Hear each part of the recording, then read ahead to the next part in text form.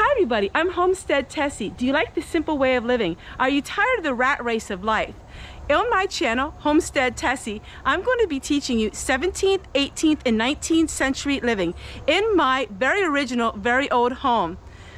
What we are making today is homemade laundry soap. It is one bar of Zote soap, one cup of washing soda, and some essential oils. And that's going to make us five gallons of laundry soap. I use that laundry soap for my dishes and for my laundry and for cleaning all purpose. Today, we're almost finished with it. This is part of my life. This is part of my channel. This is how I live everyday life. I'm gonna teach you how to make lye soap, how to make candles, how to live really authentic 18th century anywhere from some of the clothing that I wear to all of the actual heritage items that I have from my family.